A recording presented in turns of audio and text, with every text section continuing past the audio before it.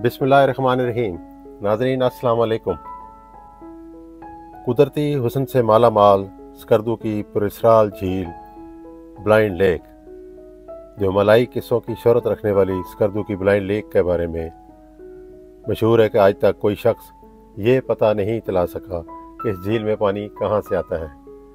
आइए चलकर देखते हैं ब्लाइंड लेक। इस झील को मुकामी ज़ुबान में जारबा टसाओ लेक यानी ब्लाइंड लेक भी कहते हैं। अभी आप इसका पैनोरामिक व्यू देख रहे हैं। ये शिगर वैली में एक खूबसूरत झील है।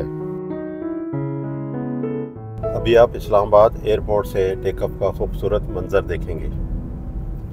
इस्लामाबाद से डेली फ़्लाइट्स स्कर्दू एयरपोर्ट जाती हैं और इसी तरह वापस आती हैं। लाहौर से हफ़्ता में तीन फ़्लाइट, कराची से दो फ़्लाइट और अब गुज्त चंद महीनों से दुबई से भी एक फ़्लाइट रोज़ाना स्कर्दू एयरपोर्ट आती है। इस्लामाबाद से जब स्कर्दू जाया जाता है तो रास्ते में हर तरफ़ बर्फ़ की चादर ओढ़े हुए कराकरम और हमालिया के पहाड़ नज़र आते हैं। ये नहायत दिलकश नज़ारा है। दूर से हम पहाड़ों पर पड़ी हुई बर्फ़ तो देखते हैं, लेकिन पहाड़ों के ऊपर से ये बर्फ़ देखकर अजीब मंजर है कि हर तरफ़ सफ़ेदी ही सफ़ेदी छाई हुई है।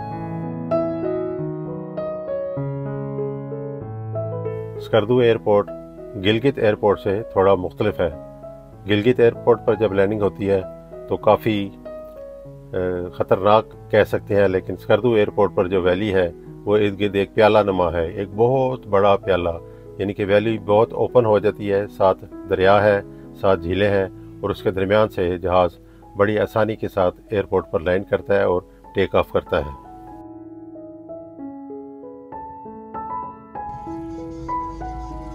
अभी हम स्कर्दू शहर के दरमियान से गुजर रहे हैं। ये चौक यादगार है। स्कर्दू शहर में हर वक्त गहमा गहमी और रौनक होती है।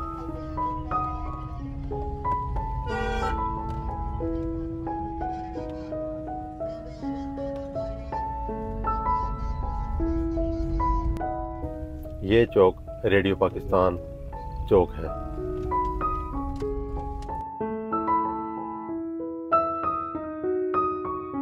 स्क्रीन पर आप देख रहे हैं बाबे शिगर। इस बाब से गुजरकर स्कर्दू से शिगर वैली की तरफ़ जाया जाता है।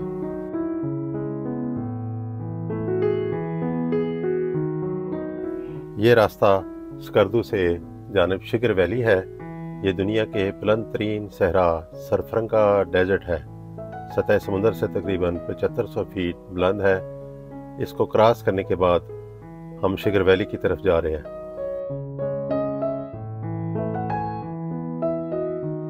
कराकरम और हमालिया के पहाड़ों के दरमियान खूबसूरत सहरा का मंजर।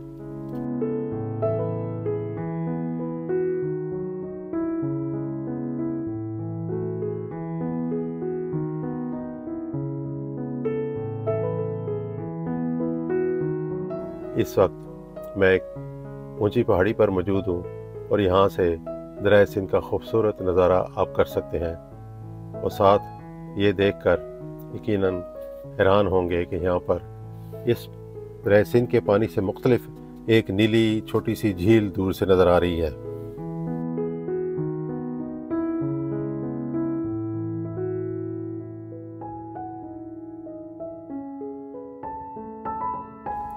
जो लोग सैर सेहत और कुदरती खूबसूरती देखना चाहते हैं, इनके लिए स्कर्दू से तकरीबन 30 मिनट की मुसाफत पर यह खूबसूरत झील इनको अपने शहर में लेने के लिए मुंतज़र है।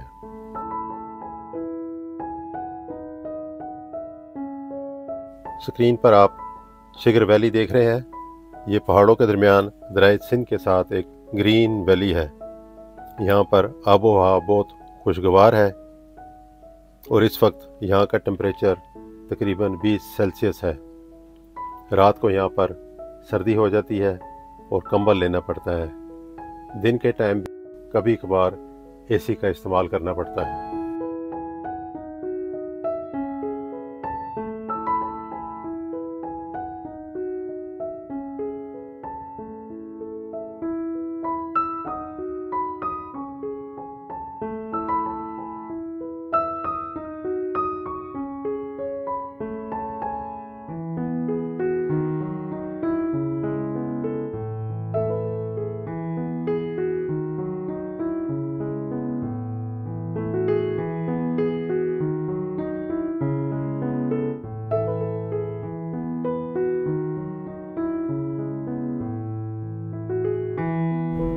स्क्रीन पर आप शहदा की यादगार देख रहे हैं। इन शहदा को सलाम जिन्होंने पाकिस्तान के लिए अपनी कुर्बानियाँ दी।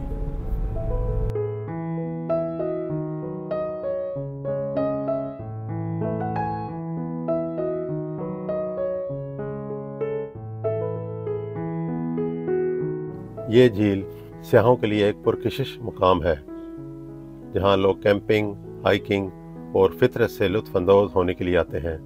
झील के गिर्द सरसब्दो शदाब, वादियाँ और बर्फ़ से ढके पहाड़ इसके हुसन को मज़ीद निखारते हैं।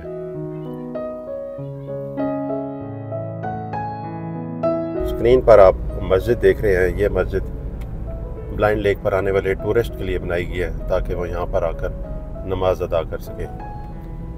साथ ही पार्किंग एरिया है। सायादार दरख्तों में आराम से आप अपनी गाड़ी खड़ी कर सकते हैं।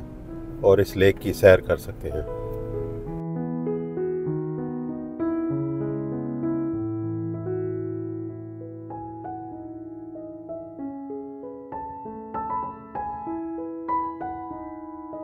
ब्लाइंड लेक का पानी साफ़ और शफाफ है और सूरज की रोशनी में चमकता है और एक ख्वाबनाक मंजर पेश करता है। अगर आप स्कर्दू की सैर पर हों तो ब्लाइंड लेक को अपनी फहरिस्त में ज़रूर शामिल करें। क्योंकि ये झील आपको कुदरत के करीब ले जाएगी और आपको एक यादगार तजर्बा फ्राहम करेगी। नाजरीन, आइंदा जल्द एक नए प्रोग्राम, नए मुकाम पर मिलेंगे। प्रोग्राम पसंद आए तो अपने दोस्तों के साथ शेयर कीजिए। अपने कमेंट्स ज़रूर दीजिएगा। आपका बहुत शुक्रिया।